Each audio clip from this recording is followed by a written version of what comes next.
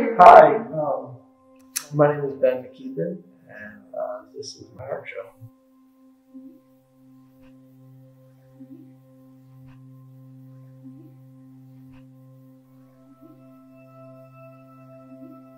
Uh, do a lot of different research in different religions and spiritualities and um, philosophies, and try to find a consistent vein through all of them. Um, the general tone that I find in all that is kind of where I found the energy that I put into all these different pieces. Uh, it's an it's an intuitive research process. It's kind of just following whatever feels right at the time, and that's where I've developed the work process that I have as well, where I don't really have a plan of getting into these pieces. It's more um, responding to material and creating as I go along and um, seeing what happens and kind of just letting the natural flow of the creation dictate how the piece ends up. Um, for example, the burning process of a lot of these finishes was um, by happenstance, and then pushing and pulling that material surface back and forth. Um, and even with the more um, representative images, like the carved faces, they're just going along with the wood and seeing where the grain leads me to create what kind of facial structure that I end up creating. Like when I grew up, I grew up in a, a relatively affluent area, um, part time. Like my dad's house was in this nicer spot, my mom's house was in you know more real area where you you know you got the nice sweet old lady on one side of your house, you got a crack house down the street. It's like real life, you know, shit happens. Um, but so being in that in between space, you know, I didn't, you know, the trades were kind of frowned upon for you know whatever reason. It wasn't wasn't what you did. And so when I went into art school, you know, I'd never seen a weller before. I'd never done any of that stuff. And then I go into this, it's, you know, it's metal. You're, you're playing with metal. I used to, I used to say, it's a little, it's vulgar, but you're fucking with the unfuckable. You know, it's like the world is made out of this stuff. Like this is the stuff that we trust. And it's like I can bend to that now and cut that now. It's like, uh, what? That's not how that works. Like you're not supposed to be able to to play with that, you know. And then once you do that, it just changes everything. You know, possibilities just become overwhelming. You're like, I can do all the dumb shit. I can make all the beautiful things weird. You know, and so it's just it's capturing all this just like volcanic kind of energy, and then having it in a manageable small team size. It's it's super bizarre, and you know, and then same with the fabrication, where it's like it's the stuff where it's designed for bridge building, you know, and we're just tinkering, we're making weird little figurative pieces. It's fucking weird. It's a bizarre, bizarre interaction with material. Because it's so it's so aggressive. You know? Like it's just every moment you're getting hurt. You know, just everything you do is just like volatile and violent. But then you're trying to pull this like soft elegance out of it. You know, or or you know, engaging the aggression and rolling with it, letting those hard lines and hard edges exist. It's fun, man. You know, and that's kind of that that exploration was what led me into pieces like this, um, where you know I was making these pieces with my own fabricated parts, and they were they're good. I liked them, and, you know, but my my craft wasn't to the level of my expectation, right? Like I wanted beautiful things, but I couldn't make. Um, so then I started playing with found object, where I would dig in these trash piles for um, you know old castings and old pieces that um, were abandoned. It's like, okay, so this was an industrial thing. Like this is made out of parts from you know pipe fitting and then uh, like an antique bearing press of sorts. And then I disassembled it and and played with it. I was like, those are just stupid elegant lines. You know, it's like, even if I had drawn it, I wouldn't have been able to cut those kinds of clean lines like that. You know, and so I really started to dive into it. Oh, wow, these are beautiful things that exist in this world that I can manipulate. And, you know, if I can change them and create a form that is akin to my work and, you know, comes from me with these lines, it's like, then I'm getting the best of both worlds.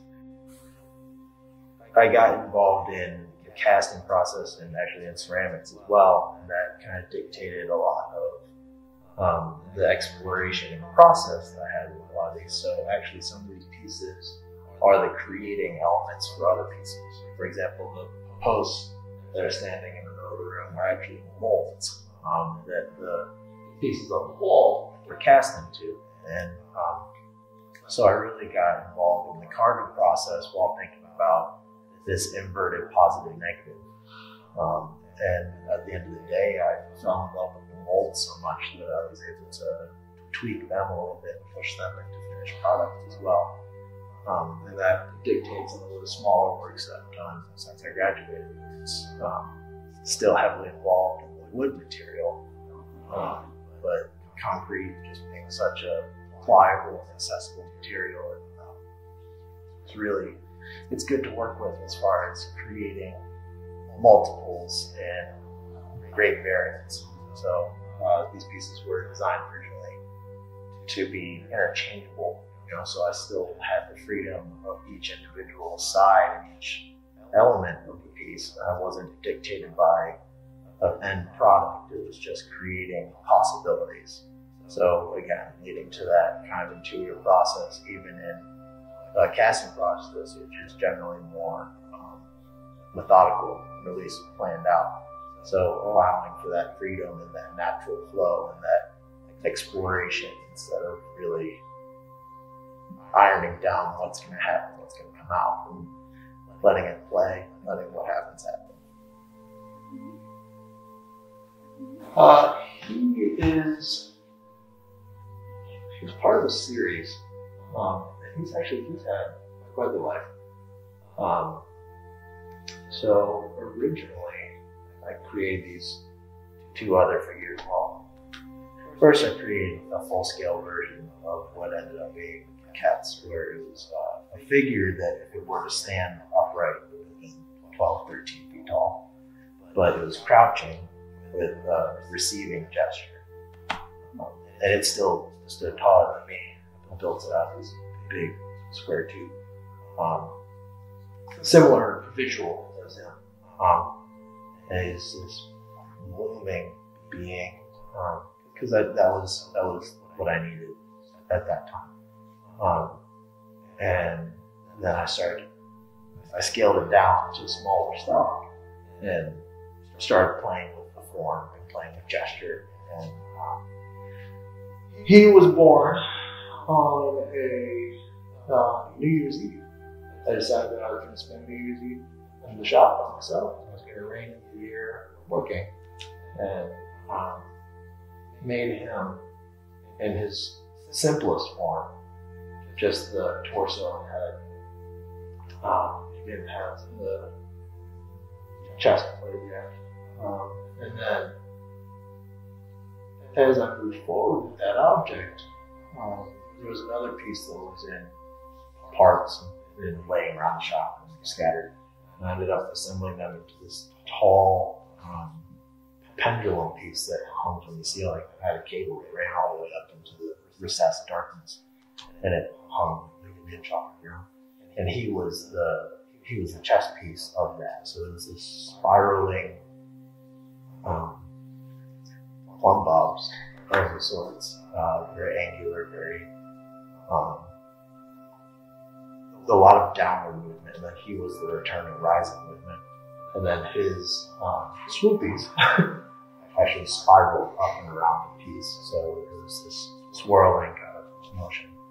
Um, but he wasn't as clean as the rest of the piece, so I ended up taking him off and placing a casting that um, actually molded on him and took the casting off.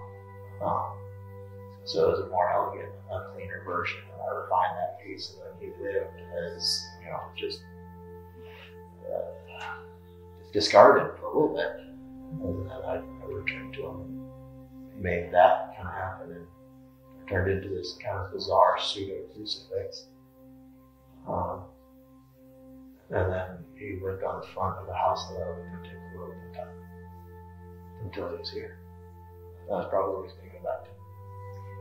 But he's, uh, both his original, all of his iterations have been protective in one regard or another. Um, so he's, he's always been this kind of uh, protective totem of sorts, like, like old man over the corner there.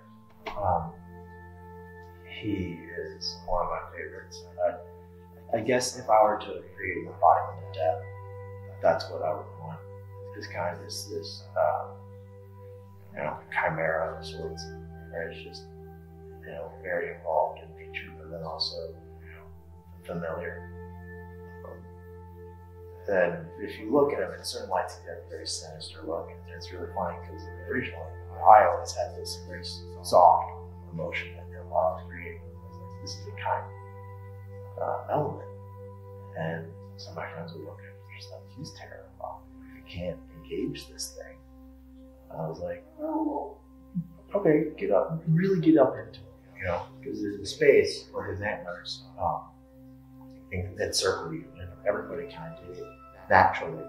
Um, whenever I've shown them, they get right up and they're in this closed space.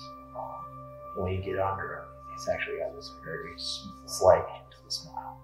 And it's, it's actually, I find it endearing.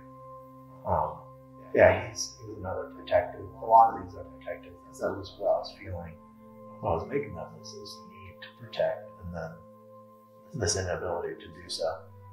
Um, so all these things became stuff like that. A lot of the other pieces did. Um, yeah, it's, it's just it's about the interior process and your journey. Um, it's about exploring and it's about finding when things are talking to you and listening and letting material really tell you where you're um, and not not forcing it. And um, one of my mentors said, uh, if you're honest, just along the lines of, if you are completely honest with what you're feeling while you make something, the people who view it will understand. But if you try and hide anything, you're going to lose people. And so it's, um, even when I didn't know what I was feeling, I just let it be raw. And so it's, it's about that. It's about capturing that energy and not letting myself get in the way of it. I know everybody's got their life that they bring to a piece, but um, I just try to put it into the piece honestly enough that if there's any part of that that anybody can understand, then you know they'll feel it. They don't have to know the narrative; they just have to know the